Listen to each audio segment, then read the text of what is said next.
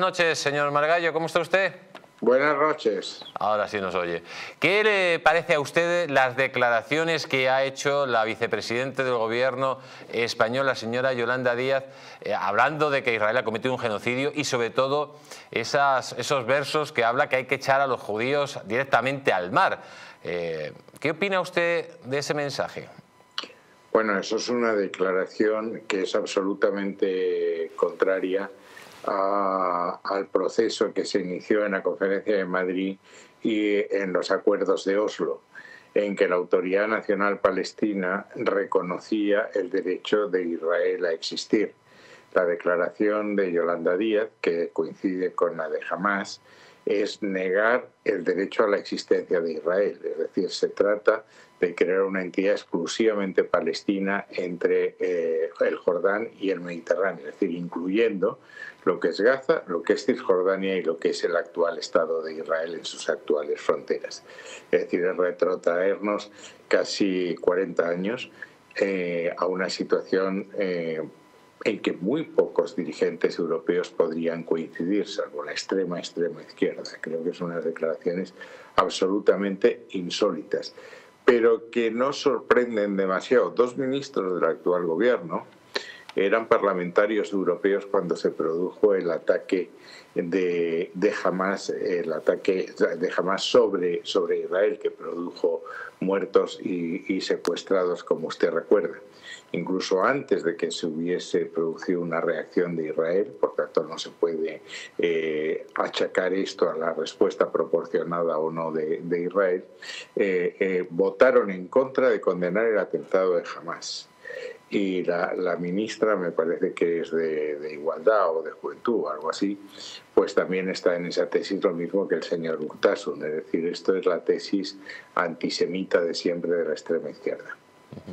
¿Y qué opina usted de que hay que hacer, sobre todo, sanciones internacionales desde la Unión Europea?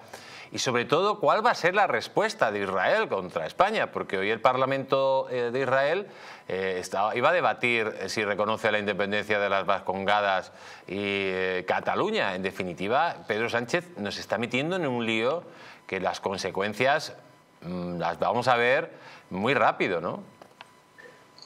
Bueno, es que la, política de este, de este gobierno, eh, la política exterior de este gobierno es todo menos una política exterior coherente en ninguno de los temas. Cualquiera que sea la cuestión que se plantea en política exterior, usted tiene dos reacciones dentro del mismo gobierno. Cuando se produjo la invasión de Rusia, había una parte del gobierno que era partidaria de ayudar, eh, mandar armas a Ucrania para defenderse de la agresión rusa, y otra parte del gobierno que era contraria. Cuando se discutió la, entrada de Suecia y Finlandia en la Alianza Atlántica, una parte del, gobierno estaba a favor y otro está en contra.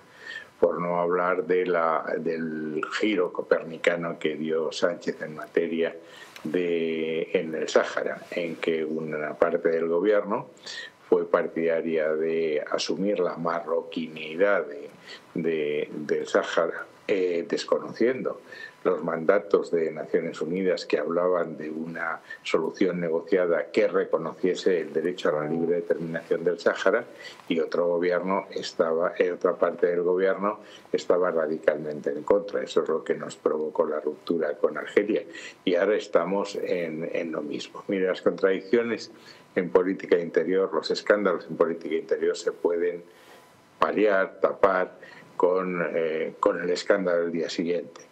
Política exterior eso es muy, mucho más difícil. Hay 193 países en, que, en Naciones Unidas que toman nota de las declaraciones de todas las cancillerías. Y eso cuando se pone negro sobre blanco en declaraciones por parte de dirigentes del gobierno, pues queda y no se puede borrar. Yo creo que eh, estamos entrando en una dinámica en que cada día perdemos, perdemos un amigo. Yo creo que como siga esto, a esto a esta velocidad en la próxima eh, celebración del cuerpo diplomático a principio de enero, pues van a estar los encargados de negocios. Pues señor García Margallo, como siempre, un placer eh, tenerlo aquí en el Mundo del Rojo. Muchas gracias, buenas noches. Buenas noches.